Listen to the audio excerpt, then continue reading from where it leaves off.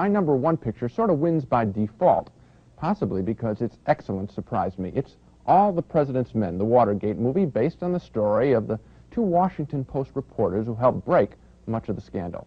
Here's a fine scene. You may remember it. The scene where they're just getting started on their first story together and where their egos clash for the first and last time.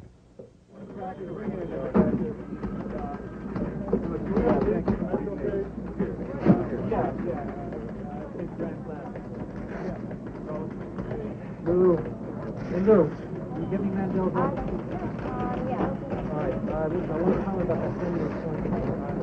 Right away, Lou. Right away. come on.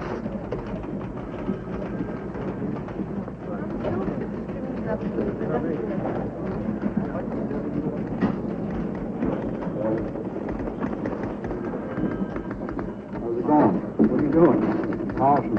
You what? Polishing. What's wrong with it? Nothing, nothing. It's good.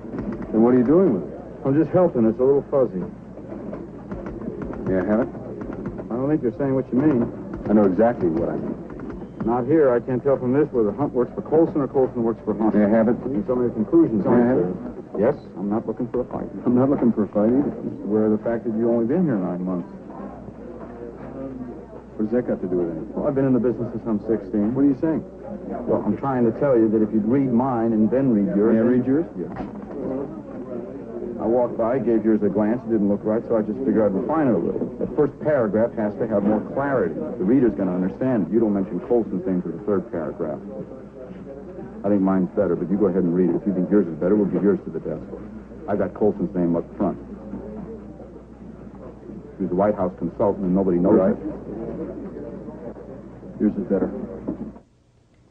Good acting there, and a tough scene because it's so talky.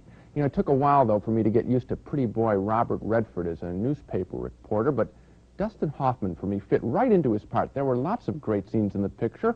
Hoffman worming his way into an informant's house, Redford's scary meeting with his meetings with his primary source named Deep Throat. Whatever else this was, this picture was the best American political thriller in a long, long time. And something else it was, Gene, as you mentioned, was a very good newspaper picture. I think most newspaper pictures are totally phony to anyone who's ever worked for a newspaper. Yeah, people always running around saying, Right. "Give me Stop the presses. yeah, it's silly. And I went to see this with a group of newspaper people. We came out, the lights went up, we said, that's like it is.